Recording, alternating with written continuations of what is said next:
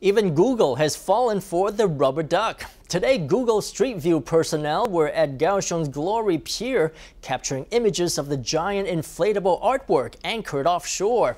But the duck photos will not likely be added to Google Maps for a couple months, by which time the duck will have moved on to another location.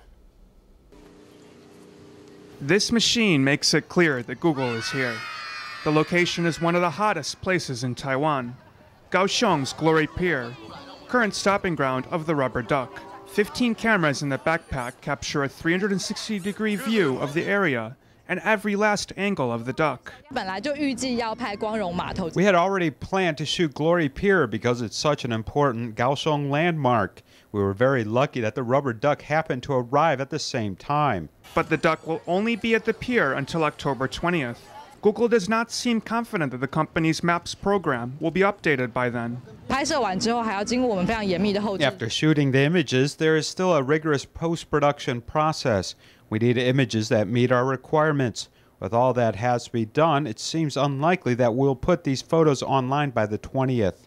Google thinks it will be several months before the rubber duck photos appear online. The duck will have moved on to other waters by then but evidence will remain of its time spent in Kaohsiung.